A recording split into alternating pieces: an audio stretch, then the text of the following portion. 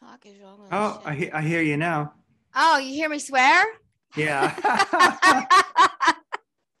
Welcome to Fortnightly Astrology with Craig Simpson and Fiona Aedgar. Um, for Fiona, you go to fionaaedgar.com, F I O N A A E D G A R.com. For me, it's easy, radiantcritters.com. You'll find everything there. And um, uh, Fiona, of course, has a very, very active uh, chat. Maybe I won't mention the platform on on YouTube. It's, it's Telegram. Telegram. Okay.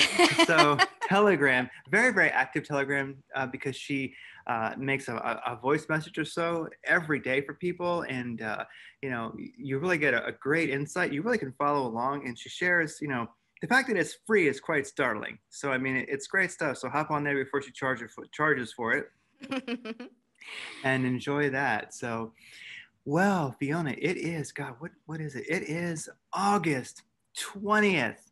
Where it's insane. Uh, this year's gone by so fast, and uh, but well, here we are looking at this fortnight. So, how you doing, Fiona? yeah, I'm doing okay. I'm a little tired. I mean, I've noticed uh, other people saying that they have been feeling very drained and tired recently. Not sure if that's you know the same for you guys over in the states or whether it's just people here. I God, think it's everywhere. Yeah, Okay. Yeah, I wonder what's going on with that then. yeah, because there's people. So at my gym where we work out, the uh, well, my my Krav studio, my Krav Maga studio, um, the, the last week, the instructors have been just pissed at everybody because everybody's like asleep. You know, now I myself, uh, I'm very deliberate about it. I make sure I drink some strong ass energy drink or so before, you know, something natural, organic, and good for me that I put together myself. It's not, I'm not doing Red Bull or Monster, okay? Um, but like, I make sure that I show up, and when I'm there, I'm totally amped. But I do that somewhat chemically, I will admit sometimes. But I'm always kind of with it. But people are like, we're punching each other in the head, we're falling over. Literally, people have been lethargic um, for the last week, and I'm hoping that it it just lasts a week. But yeah, um, you know, and myself, I'm always I don't I, I have trouble sleeping, so I'm always in, in some weird ass state anyway. So Mm, yeah, I'm trying to f- I'm trying to figure out what's going on astrologically. I mean, we have got Neptune retrograde. So Neptune is uh you know, it's a heavy planet. It's Yeah. watery. Uh, especially when it's in Pisces. So that will make people kind of feel a bit drained more so than usual. Jupiter, of course, is out of Pisces now and it's in Aquarius. So we can't blame him anymore. But also, something quite significant is happening today. So Uranus is actually stationing uh, to turn retrograde, and that can make us feel a little bit wonky. Oh wow! So Uranus is stationing, getting ready to go retrograde. Hmm. Yeah. Wow, the planet of, well, I know that people in general associate that with Aquarian energy, don't they? Or Yeah, yeah. I mean, I think it's the fact that it's in Taurus. So Taurus is a physical sign. You know, it's connected to the earth that we walk on, physical things like our bodies, the way that we move. And Taurus is a bit of a sluggish sign. Taurians don't, I mean, obviously this is quite general, but a lot of Taurians, they don't like to really exert themselves that much when it comes to, you know, exercise. They like their comfort zone. So maybe it has got something to do with that. Astrologically, I mean, I'm going to go over the fortnight astrology Yeah. here in, in a moment, but astrologically, I'm not really seeing anything immediate that other than what I just talked about. Yeah, no, I, I get it. Well, that's why something Uranus uh, stationing to go retrograde in Taurus. That's kind of like, you know, wow, interesting energies to to intermingle. You know, because uh, yeah. Yeah, uh, Taurus is really like, you know, you will take the color of the drapes we're going to get seriously. And then, like, the Aquarian is like, you know, I don't know, he's Uh, looking at squirrel videos or something like that. I don't know. It's just one of these things. It's very, very different energies. Yeah, yeah. Well, we've got we've actually got a lot going on today, so I'll just start talking Yes. about that. 20th. So- Okay. Yeah, today, 20th of August, the sun is opposite Jupiter. So this isn't really a, a bad um, aspect at all. It's quite good. It can bring in joyous feelings. It, it can mean that you're having a lovely Jupiterian exchange with another person. Uh, that that energy is passing now. So we had that very late uh, last night. Uh, Uranus retrograde. So basically everything that I just spoke about. And when a planet goes retrograde, so what it's trying to do is to make us to ha- make changes that are going to be helpful to us. So with Uranus, it's about freedom. Uranus wants us to be free. So he's going to go backwards for a while so that we can redo some stuff, make some changes, and increase our own happiness and freedom. So we'll be seeing, you know, you'll probably notice changes in other people but when a planet goes retrograde, it becomes more internalized. So we'll be thinking about it a lot, a lot rather than really seeing it in the external world. Also, today, we had a beautiful trine from Mercury and Uranus. Mercury is the planet of communication, thought processes, the way that you think, the, the way that you absorb information. And trine Uranus, it can, you know, it can bring a breakthrough. You can get some new information from someone that helps you or just a different way of looking at something or thinking. So tomorrow it's a nice day. Venus is trine the North Node. So Venus is very happy at the moment. She's basking in her uh, the beautiful energy of Libra, and it's really good for relationships. It's also going to be good for anything like podcasting, writing, interactions with females, that type of thing. So that's tomorrow. Then on August 22nd, Mars is trine Uranus. Mars is the planet of your physical energy levels. So we should hopefully feel a little bit better on the 22nd and not like we're walking through quicksand. Um, so when Mars trines Uranus, we can have a little bit of a health breakthrough just feeling better. You may decide to do something daring on that day that you wouldn't normally do.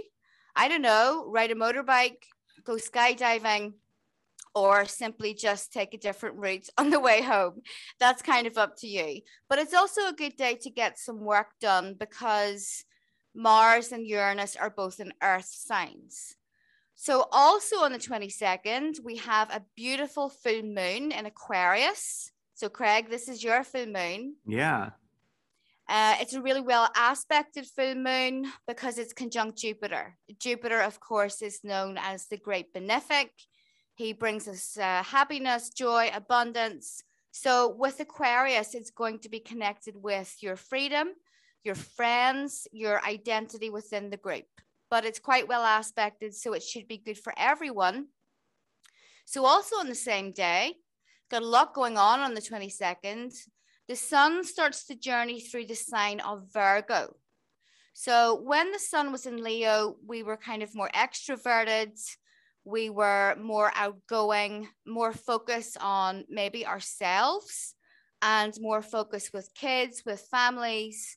Um, when the sun transits Virgo, it's time to do some kind of cleaning in terms of your health, your home, because we're starting to get ready for the fall season and the winter season. So it's a good time to do a detox. Uh, it's a good time to rid yourself of any bad habits. Just go ever go through everything with a fine tooth comb. Virgo is really analytical. Some people fast. You know, if your health can benefit from that, then uh, go ahead. So on August uh, 23rd, Venus is trine to Saturn. This is good for relationships, they become more stable. On the 25th, Mercury is opposite Neptune. This can be a weird day for communications. By the way, speaking of communication, if you hear an incessant meowing in the hmm. background, it's my cat mm. He wants to join in. He's got Venus in Leo, so he yeah. feels that he feels left out. oh yeah, Leo's a showman's. Oh my goodness, yeah. Yeah, he is. He really is.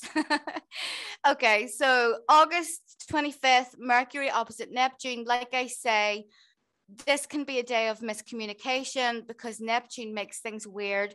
So try and have conversations in person rather than over text. But the positive side of Neptune is that it can make uh, your life feel, you know, just a bit rosy, a bit beautiful. It's a good day for any kind of spiritual work. So as we move on to the 26th of August, Venus is opposite Chiron. This can be a little bit of a tricky day for relationships because Venus wants to be romantic and together and beautiful. But Chiron is having her address some type of wound, which never is a pleasant thing. But on that day, you can have a breakthrough in terms of how you approach relationships, how you stop your wounds from interfering with those relationships.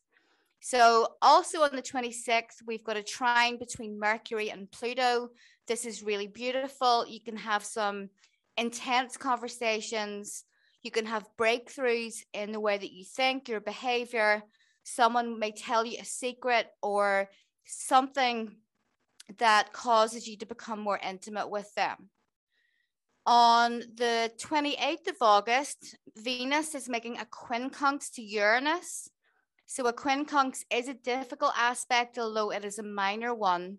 This uh, aspect really is going to make us address some kind of issues within relationships connected with your personal freedom. Um, so on the next day, August 29th, the sun is in square to the north node.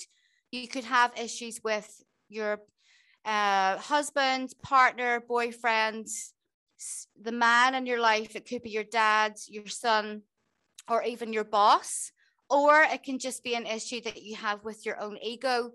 It's the sun in Virgo square the North Node in Gemini.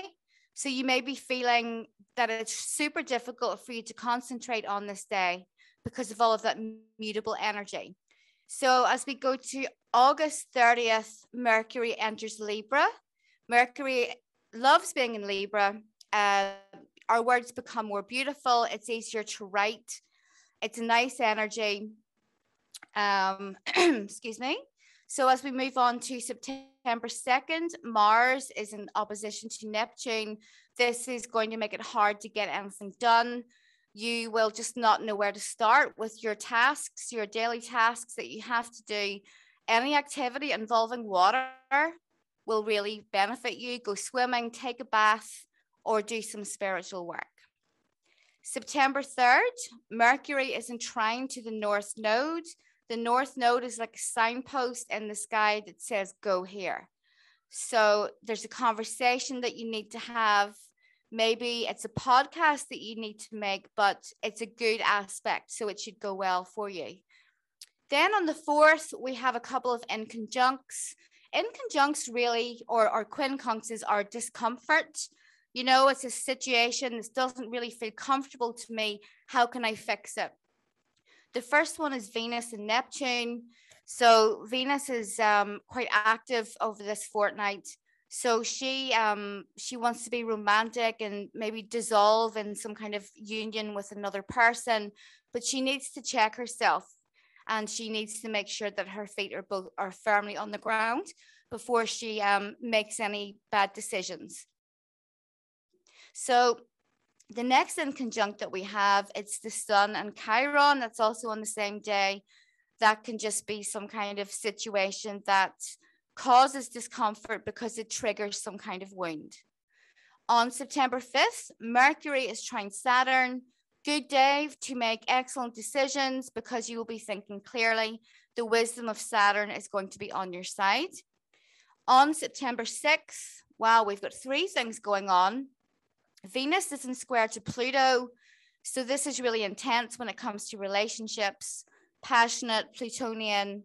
Uh, Mars is in trine to Pluto. Your sex life should be going well that day. There's like a strong feeling of intimacy between you and the, another person. And Venus is in trine to Jupiter. So if you want to take someone out on a date, take them, take them on this um, on September 6th because it's a really good day for relationships. So I'm going to end this on September 7th, and we actually have a new moon in Virgo. So you can start your diet then, start your exercise plan, clean your home, tidy your wardrobe, and um, just kind of plan for the winter. Start to make your plans, stock up on food, and anything else that you need to do. Wow, well, that was definitely thorough. So, all right, well, I will wait for September 6th. No, I'm sorry, September 5th to make good, clear decisions. And uh, September 6th is date night. So, mm-hmm. you know, So I'd say, especially ladies, if some guy's interested in you, say, okay, I think I'll be free September 6th. you know, and if you make him wait, it'll just drive him crazy. He'll be like, wow, her social schedule is so full. Oh. mm-hmm. Yeah, works a charm. there you go. Yeah.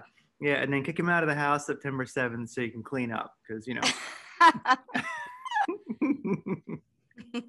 you know, oh my goodness. Well, I like the idea that Uranus uh, retrograde kind of gets into it, it, internal freedom. I like that because um, mm-hmm. we're all dealing with, you know, a lack of freedom these days, a lot of mass psychosis out there. So maybe Uranus, that planet of lightning bolts and insight and such like that, will, uh, I don't know, maybe this will be a, um, maybe I'm just guessing here. Uh, maybe this will be a good time for people to possibly shake out of the uh, mass psychosis a little bit because we certainly have mass psychosis going on in the world today. And yeah. uh, I don't have to be specific on YouTube because you all know how it is, but you know what I'm talking about.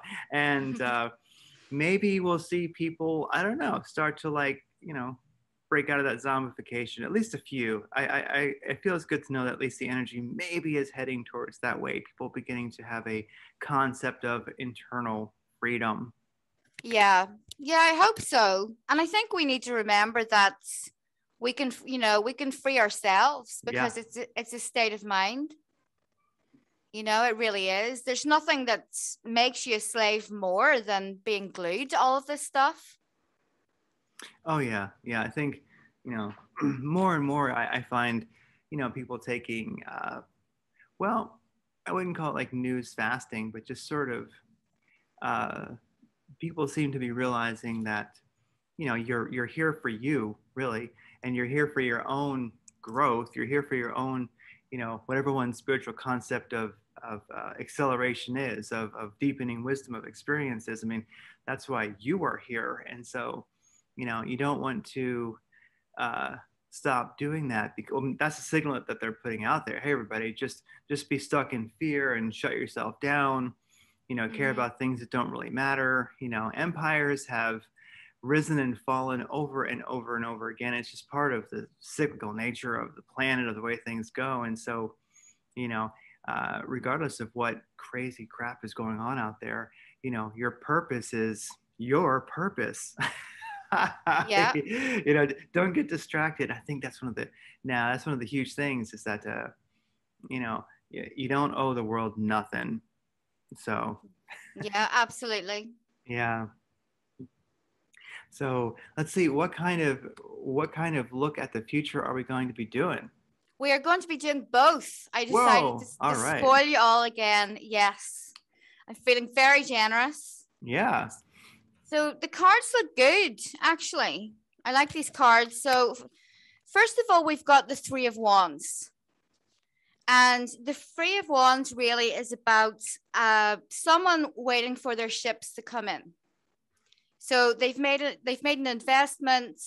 Um, you know, they're they're looking into the future at what they want, but it is it is coming, but it, they haven't quite got it yet. So the second card that I got was the Seven of Wands. So whoever this is, I mean, probably it's for all of us, but there's always a few people that really, you know, they resonate with this more than than others. But the Seven of Wands can be about being defensive, keeping away, uh, just a bunch of annoying shit that's trying to derail you from your goal. But um, the last card is the world. The world is probably one of the best cards in the whole deck. It's about the completion of a cycle. So this can be, you know, for all of us, or it can be for some individuals, you know, that are listening to this. But if someone has a plan Uh, and the thing is that the cards show travel. That's what I see in these cards. it's also reflected in the astrology because we have the full moon that's conjunct Jupiter. So Jupiter is the planet of of travel, of foreign cultures. Also, the rune that I picked is also connected to travel, but I'll get to that in a second. If someone has a dream out there, they want to move, they want to take a journey.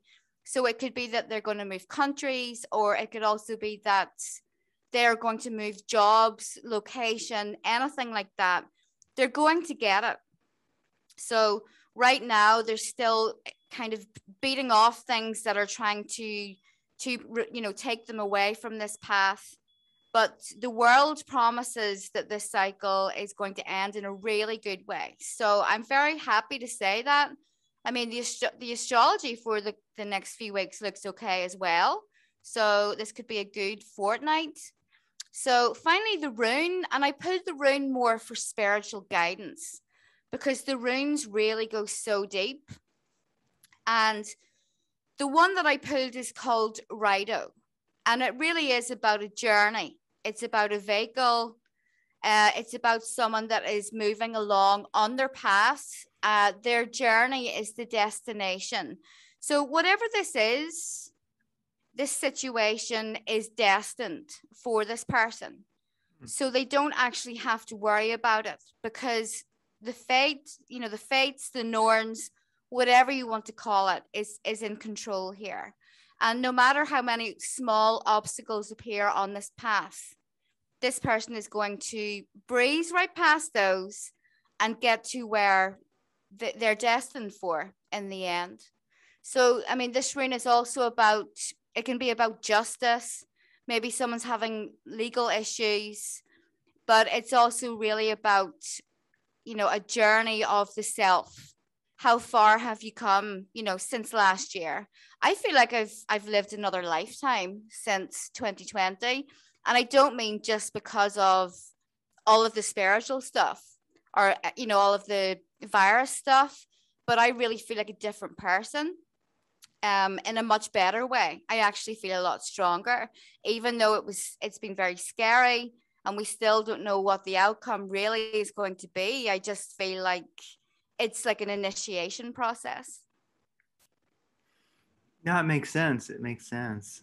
Um, and that's something I've contemplated, you know, recently is just uh, how we really need to uh, focus on our intuition. Like whatever, um, I think the survival instinct that will help one uh, prosper and do okay in this time of while we don't know what the outcome is going to be really is uh, the cultivation of intuition. Like i think most people listening you undoubtedly have intuition i'm sure and there's like many many methods uh, but it is you've got a spiritual technology ultimately.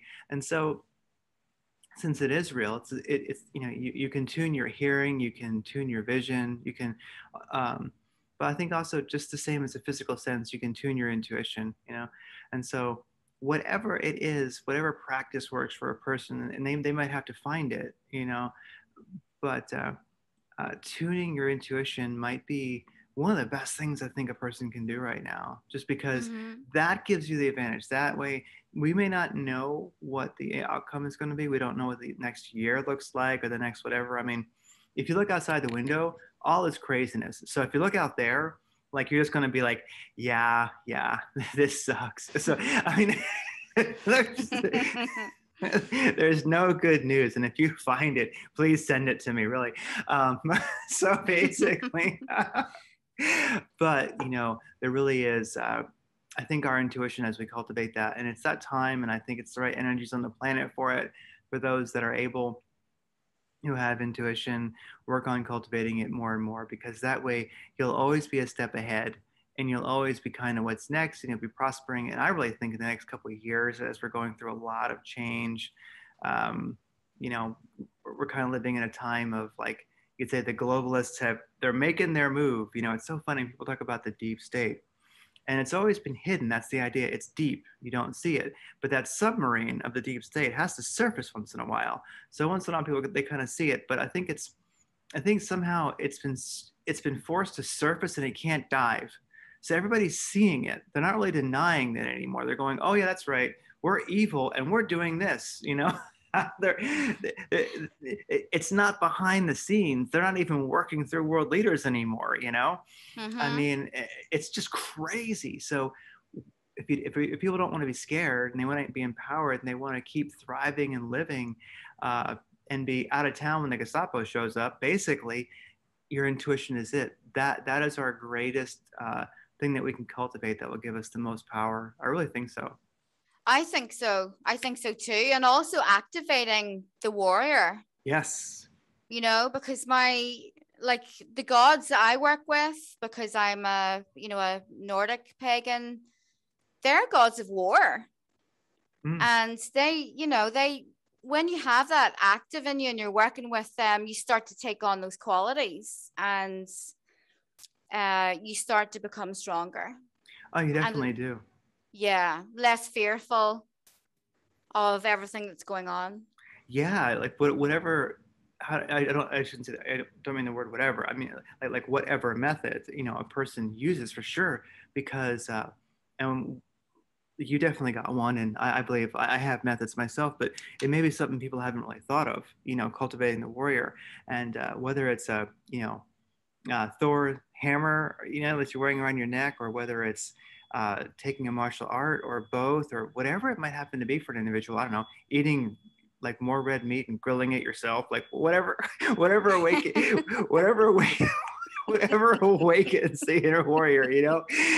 Um, you know one should do it because uh, you know like one thing that helps me like my inner warrior and i guess outer warrior too is just uh, i do have some germanic roots i do and uh, you know you look at the germanic uh, you know mythology uh, and uh, I love just the entire notion of so much of it. It's like peace is hell, you know. and it's yeah, yeah. So, so just kind of start. That would be a great, you know, that would be a great T-shirt. Just peace is hell. yeah. Oh gosh, yeah. Who wants it? It's boring. Uh, you know. Yeah, I don't think any of us are ever going to have it on this planet anyway. Yeah. So it's like a, it's a fantasy to think that we can have that, but you know, when situations call for us to be brave and strong and just like man the fuck up, yeah. then we need we need to be ready to do that. But so many people they're just not prepared for that, or they think that if they send love and light uh, to a situation that it's going to change it, and it just isn't. You know, you need to fight it. Oh, instead yeah. of you know i mean don't get me started on the new age stuff you you know how i feel about that but really it doesn't help anyone at all. They're disempowering themselves. Um, you know, if they just connected with that, uh, you know, their roots, the, the you know, they're polytheistic gods, because they're going to be gods of war in every pantheon uh, for a reason. It doesn't mean that you're going to go, you know, turn really violent or anything like that. It just means that it really gives you some backbone Oh, it definitely does. Yeah, it definitely does. So everybody, you know, don't don't despair. There's still plenty of time for glory. so, so, yeah. yeah, don't despair out there. There's, you know, you, will get your chance soon. I guarantee it. So I mean, mm. there you go. You know, wow. Well, let's see. Is there anything else that we got going on? Um, no, I don't think so. Not at the moment. I mean, should be should be a pretty pretty good fortnight. Yeah, well, everybody definitely check out uh, Fiona's Telegram because she does mention all the things that she's doing. Um, she's got some new podcasts that she's a part of right now, and uh, so she's just really, you know, putting out the content, and that, that's quite a lot of work. So, um, yeah, definitely check yeah. that out. Yeah, I'm actually interviewing David Whitehead tomorrow. Yeah. Um, so that's going to be super fun. I'm going to be talking about his chart with him and asking him some questions as well. Oh yeah, that'll be great. That'll be great. Yeah, he's quite the good character. He in, in um, yeah, I, I, listened to his show too, and he's introduced me into a lot. I never, I, I never talked to him, but I mean, his show has introduced me to a lot of a lot of things that I've definitely, you know, kept followed up on. So, yeah, great show. It's going to be quite the uh, quite the good experience. And that's not your first time talking with him, of course. You guys have, have hung out a good number of times. Yeah, we've worked together a lot. I mean, I've been on Unslaved with him and Michael, you know, qu- quite a lot of times. But he's just, you know, he's a good guy. He's, a, yeah. he's an all around good person, like yourself, Craig. Oh yeah, oh yeah, yeah. I mean, he definitely eats a lot of red meat and makes his own yogurt also. So I mean. You know.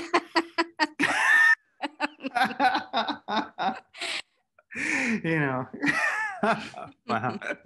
All right. Well, I will get this posted as always, and I will send you a link. And hey, everybody, thanks for tuning in today. This is always a lot of fun. I hope that we, uh, you know, hope hope Fiona's info has been great. It certainly certainly sounds good to me. Sounds great to me. We're gonna have a great fortnight, and uh, remember, peace is hell. There's still plenty of chance for glory. It's not over yet, and uh, we'll see you in a fortnight. see you then. Bye. Bye.